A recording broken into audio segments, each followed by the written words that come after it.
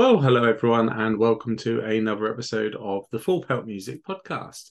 Shortly, we'll be chatting with the Dollyrots after they release their new album Night Owls. But before then, the usual reminder from myself: if you would, please do follow Full Pelt on social media. We're on Facebook at Full Pelt and on Twitter and Instagram at Full Pelt Music. And again, if you would, please do hit that like button, hit that subscribe button wherever you're watching or listening. Welcome to uh, Kelly from the Dollyrots to the Full Pelt Music Podcast. Absolutely delighted to have you on. How are you today? I am great. I, I do sound a little bit under the weather, but I, I feel really good inside. So don't feel bad for me. well, that is definitely always the main thing. Um, feeling good inside, and you must be feeling really good because obviously Night Owls has just come out, uh, your latest album. So it, always an exciting time for a band, and you've just been out playing some shows as well, which is again is always an exciting time. So um, obviously, yeah. as we talk, you're in between a couple of smaller runs of shows. How are the shows going, Kelly? Oh, it's been so much fun. Uh, sometimes a little too much fun, and you know, I, I don't know. The we had a record release party in New York City, and we hadn't played New York City in about a year, and it was just beautifully insane. We had people fly in from like Poland and the UK, and you know all the way across the states, and we had surprise surprise friends show up. So it was a beautiful night. But yeah, all the shows that we just played were so much fun. Um, the band that we had out with us, Kings of the Wild Things band they were a lot of fun. They're a great band, but they were just they were a lot of fun to hang out with. Um, Lewis, the guitarist, and and me, we have kids too, and so you know we always we bring the kids on almost all the tour dates, you know, typically, and they were there, and man, those kids kept them entertained. It was awesome. yeah, I bet they did. Um, and uh, yeah, I mean, uh, you touch on it there. Really, there's such a great community around the band. Um, both you know the the fans and obviously just you know uh, fellow friends that have uh, sort of come into that um, community. And um, I say Night Owls um, has just come out, so obviously everyone as part of that um, sort of fan base has got something new to to sink their teeth into. And uh, yeah, our review it is such a fun, just like great pop punk record. Um, definitely one of the best from from the band, and that's saying something because your back catalogue is phenomenal. Um, and listeners obviously, you know, should should check it all out. But um, yeah, Night Owls such a great album, and I just wanted to ask, obviously, because feedback is just so instantaneous these days. Um, you know, how have how have you felt the album's gone down with that fan base? It insanely good. I mean, even I think there was one UK interview and it was like the guy just wished he didn't like it or not interview, um, a review. He it, it was almost as if he didn't want to like it, but in the end he just couldn't help but say it was awesome and that people should listen to it. So that it's been overwhelmingly positive and and that feels really good. I mean, we were putting out albums every two years for about 20 years. And then, you know, all that stuff happened a couple years ago. So, you know, we haven't put out an album of all new material in four years. And so, you know, it gets to this point where you're kind of like, have, have we lost our mojo? Like, can we still do this? When are we going to get this done? And, and so, you know, once, once we finally started to, to really work on it, it, it went pretty quickly. And, you know, that happened after we started touring again and felt inspired and, and so i think it, it, comes from a very a joyful place but you know we're also we've we've grown a lot in the last four years and so i think that's reflected in the songs as well yeah, I would agree with that. There is definitely a, kind of, I guess, added maturity uh, to to the sound of the album, although it's still just infectiously um, just like great fun. And like it does not surprise me. Us uh, you music journalists like writing a review yeah quite often we're quite keen to oh no we're not to like this. Let's write a bad review. And uh, I can't I can't imagine it's possible to write a, a, a negative review for, for Night Owls though because it is just so I say infectious that it, it, will win you over. Um yeah definitely. And um obviously you touched on um yeah, you've you've had such a consistent outlay o- over the the period of your career. You know, uh, new albums every sort of two or three years, just consistently coming out. And uh, obviously, to maintain the quality you have, again, um, I, got to admire that massively. Um, but with this one, and and you touched on, you know, the thing that we'd probably all rather stop talking about now um, that happened to, to the world. Um, you know, with that and with the delay, did it change up your recording process at all? Was it a different experience this time around? Um, when it when we finally started, it was pretty much the same thing that that we've been doing for the past, I guess, four records. Um, but it was the getting started part that wasn't happening. Um, you know, we were home for a year with our kids. You know, they didn't go to school for a whole year, and we weren't touring. We weren't doing the things that inspire us, and we were still trying to write music you know we would go into our studio and and we would we would start songs but we couldn't finish anything. You know we we would just kind of get down on it and be like ah kind of sucks you know we'll try again later. Then we go and we start another song and be like ah it sucks too. You know and it it turns out it was more our attitude that sucked than the songs because you know once we got back out on tour we were like all right gotta do this record we gotta do this record. Um we we booked time with our producer john fields and you know we knew we only had so long to to write it. And i think it was probably like four or five months. And so lewis started looking through all those bits and pieces that we had started and not finished. And we were shocked by by how much was there and also how how good it was. And so you know we had a lot to already work with. We some of the songs are like bits put together that you know didn't necessarily weren't intended to be together, but ended up that way. You know, like some of the Beatles songs. It's like, well, that doesn't go with that, but you know, then it's one of your favorites. Um, so once we started, it was cool. And then, you know, Lewis and I record the well, Lewis records all the stuff at home. He does like all the engineering and you know the producing of the early stuff. We would do like bass guitar, uh, drum programming, and main vocals. Sometimes even backing vocals at home and then we go, we fly, we meet our producer after we've sent him all the stuff that we did at home. And, you know, he's like, he's like, that's great. Redoing that, you know, still, we still needed like all the bridges. We didn't have any bridges written. Um, and so then we spent a week with him, finishing it all up, polishing it, you know, re-singing some things. You know, sometimes he would pick up his bass and be like, I'm going to do this thing instead. And, you know, it it went really quickly once that happened. The art came together really fast. Um, it it all just went together easily, and we turned it in in the spring, so it kind of feels like it's it's been out in the world for a long time to us, but in reality, people are just hearing it. So that's also kind of weird when you put out an album. Yeah, it's something that a lot of artists that have been on the podcast have actually said that that gap between finishing the recording and, and production of the album, and then it coming out, and by the time it comes out, it's not quite as fresh, you know, to the That's artist. I'm like, wait, what songs are on it? Like, but yeah.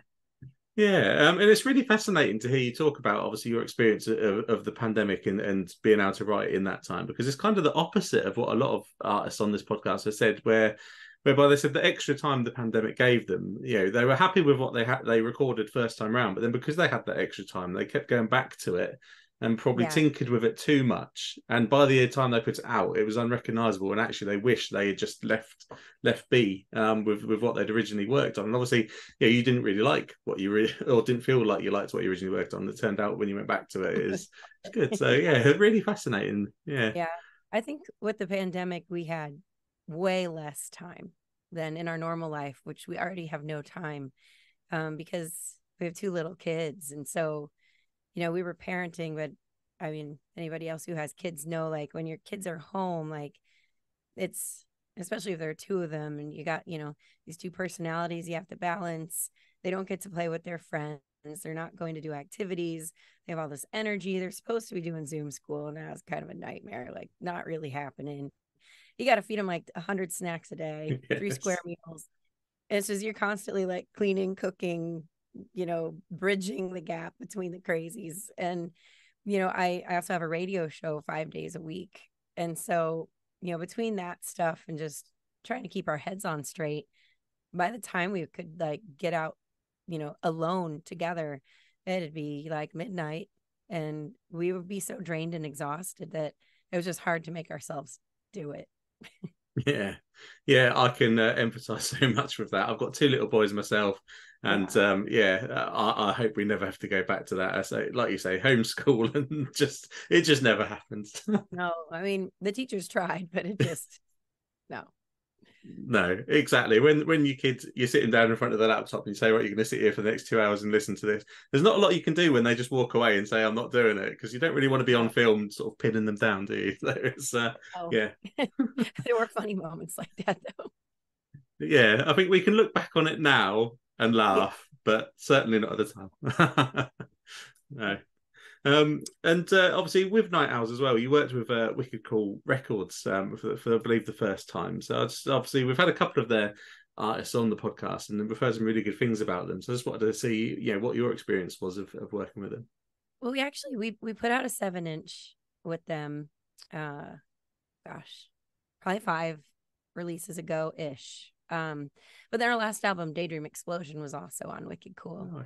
And um, we had we had known, of course, of of the radio station connected to Wicked Cool. They're both Stevie Van Zandt's record label and radio station. Station is Underground Garage, and they started playing us when we were on Blackheart Records when our second album came out. Um, they gave because I'm awesome a lot of airplay, and we got to go in and meet Stevie, and it was really really cool. And you know, we have been self self releasing, you know, albums on our own label for a while. And they're like, well, what do you want to do a seven inch? we're like, yeah, sure, of course. Like, we'll do, we love doing seven inches. We do all sorts of weird seven inches. And we did it. And it was such a good experience um, because obviously it's an artist label, it's a musician friendly label. They're not, their, their top concern is not money, you know, making money out of their artists. They just, they like to promote the artists that that they like and and it's really that simple and so to be liked by them feels very nice um and they've got great distribution and the support is really really you know it means something when somebody that you've looked up to says hey you're doing a good job and i want to make sure more people hear what you're doing. And so yeah it's been a really good partnership i think. It it helps us to get to more people and and it doesn't hurt anything along the way because you know sometimes you have to give up a little bit something to get something else. But in this case we don't have to give up anything. We have full creative control. They let us do it whatever we need to do. Uh, on pretty much on our timeline too which is really cool. Yeah wicked cool even. Oh dad joke. Yeah. but yeah um it's uh, yeah such a refreshing um sort of concept for a record label isn't it? To actually nurture the artists for the artists rather than for, for yourself. Um but yeah it's a subtle difference but a major one. Um and yeah anyone that's checked out night owls um, I'm sure uh, have already clocked just how great an album it is, but they, they would also have experienced the, the first track on the album is Five Plus Five, which is um, your latest single um, that's come out. So I just wanted to touch on that song and just ask, you know, what what, what is the story of that song? You know, what's it about, and what did it, how did it come together for you? Well, have you ever thought someone was just beautiful as a human and they just feel like crap about themselves and they just can't see it? I mean, that's pretty much what that one's about. Yeah. I mean, you know, we brought some of ourselves into it too, but you know, it's just that idea that you know, a lot of the time you don't see the beauty in yourself, but other people do and you know, maybe when you get a compliment, you should try and take it and maybe make it let you feel a little better about yourself. Yeah. Yeah. good. great song great advice as well so yeah definitely um and I, I always uh, look uh, people that listen to this podcast will know i'm obsessed with, with music videos and uh, the like because i grew up watching them and um yeah it's a bit of a lost start and um, I've been really impressed actually, not necessarily with the music, but with the lyric videos that you've been putting out because that's become a lot more of the done thing these days uh, is to put lyric videos out. But quite often they are very, very plain. Yours are yeah, they expand on on the possibilities that you that come along with with a lyric video. So I just wanted to touch on that with you and see you know you know where the sort of concepts come from for for those. So we've been working with a videographer. His name's Andrew Hooper. He lived in Sacramento, California. Um, he's just moved to Thailand, um, but we met him through Kepi from the Groovy Ghoulies, and you know he had done some videos for him, and we were in one of the videos I was really, really pregnant too. I can't remember what it's called now. I want to say it's called Romeo and Juliet. It's a Kepi Ghoulie song. I don't think that's what it's called, but mm. that's the idea. Um, he he's just an amazing visual artist, and we pretty much leave it up to him. We send him lyrics. We of course send him the songs, maybe a couple ideas, and then he just runs with it. And you know, we've been doing this with him for, oh my gosh, like four albums, I think, because it became apparent that people were going to YouTube to listen to music yeah. quite a while ago. And it's really cool. I I loved growing up watching MTV and VH1 watching music videos, you know. And so I understand the appeal of of that and we just want people to be able to experience the album in whatever way they like you know if if you want to sing along then you can read the lyrics i also used to do that i hold like my little my little tape paper try and read like sing along as i played it and you know we just try to give as many options so that more people have access to it and yeah the way he puts it together it's just it's just so cool the barefoot and pregnant ones oh he, he's nailed it every time but yeah, if you go back any of those album lyric videos, that's him. And yeah. you know, he's grown and his style has changed a bit over time too. It's it's been really cool. Yeah, they are really cool, uh, and just yeah, it brings something sort of different and help bring songs to life. I, I feel so. Uh, definitely, listeners, as Kelly said, YouTube is the place to, to check these out these days. There'll be a link in the bio of the episode, and obviously listeners can uh, can click through and go and check those out. And there's one on there for uh, "Still Holding On," which was a standalone single that come out of the recording sessions, I believe, for, for Night Owls, and obviously came out ahead of it. Where obviously there's an AI version of of, of yourself, which uh, yeah is is a pretty on topic uh, you know uh, video to put out there. So I did try to dive in as well because it is a, a, hot topic and uh, it's becoming one of the regular questions that gets asked and you'll probably be sick of hearing it at some point soon probably but you know what what in your opinion are you know the dangers of ai coming into the, the music industry? I think it's terrifying. I, I think it's terrifying as an artist but i think just for humanity our, it, it seems as though as as people it's become harder and harder for us to decipher fact from fiction in the news um, in in so many ways because you know when uh, decades ago, generation ago, there there were certain news sources that were non-biased and you could trust them. And you knew, like when you turned on the news, five o'clock, six o'clock, you you could understand what they were saying. You could trust it. You you knew that that was factually what was happening, and, and then news became entertainment. And now it, it's just very hard for people to to already determine the truth of of the world. And i i feel like ai is going to make it even harder because you can you could take that little ai version of me that lewis and his best friend byron worked on for like three days. If you worked on that for two weeks yeah. and you know i have all these radio shows we even have one that speaks. If we fed it you know just a few more days of radio shows me talking i could be put on a screen and made to say anything in the entire world. And and that goes for every human on the face of the planet. And people aren't going to know. Like they already don't know what's real and what's not. And i i think that's really i don't know how humanity's going to deal with that. But i think it's definitely something i feel unsettled about.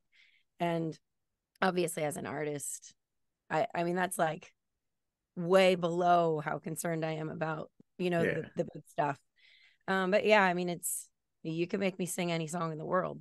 There, so much of my voice is already out there, and so I could be made to say anything. I could, could make me sing Sinatra songs. Like it, it's so strange because, you know, it's not me, and I have no control over my presentation to the world, unless it's like, "Hey, this is me. It's not an AI," but even my mm. AI could say that. You know, it's yeah. so strange. So yeah. I'm not sure. I don't know. I'm not into like super regulation and you know giving people less freedom, and so I, I don't know what the the way to deal with it will be. But hopefully, as it unfolds, people that are more wise than me will help us figure it out. That's what we have to hope, isn't it? De- definitely. Um, yeah, that lack of control is definitely frightening. Uh, agree with that completely. Um, but obviously, one place where AI is never hopefully going to interrupt is is obviously one of the best things about the music industry is getting out on stage as you have been recently and playing shows. And you know as much as I can it's you know try and imitate you know the rest of it you know you can't replicate that feeling of being in a venue watching a live act. And you uh you know the Dollyrots I've, I've caught live in the past and you are one of the best at, at doing that at building that connection with the audience. And uh, you know definitely encourage listeners to come along to a show if they can um, which obviously brings me on to the question I have for you in and, and it's simply, and you probably won't be able to announce anything because that's the way the, the industry works. But obviously, after this run of shows, there's a, your diary is looking rather empty. You know, our listeners going to have an opportunity to to catch Night Owls and the songs from Night Owls live over the next kind of year or two. Yeah, I, yeah. I mean, it, it will happen. I don't have exact dates yet, um, and nothing is confirmed but we're we're really trying to figure it out. Our last trip over there, we were with Don't Panic. It was so much fun. I mean, we've we've been going over there for years, of course, Bowling for Soup, um, but we hadn't done a headline tour on our on our own yet, and so you know, I was nervous about it. I needed the kids to be a little older, you know, throwing them in a van, dragging them to hotel rooms. It's hard to do with babies. So, you know, now is the time. And we had a blast. We it was so cool to play those venues really close up with with people and i mean those are my my favorite shows to be honest i mean i, I love playing big shows too but you know i, I like a, a medium-sized club gig where you know i can see everybody i can connect with people. Afterwards i can actually talk to everybody and you know get to know people is i that's the fun part to me. So so yeah we we will be back. We had a great great tour so we just have to do it again.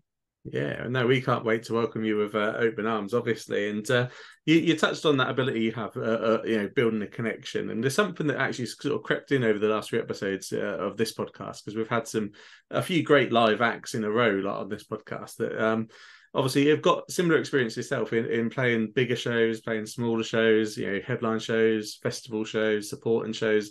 You know, you've got a good amount of experience of the different types of uh, live show there is. And uh, just the question would be, you know, if you were to give advice to a young up and coming sort of band just trying to break through now on how to set about building that connection on stage, um, you know, how, what advice would you give?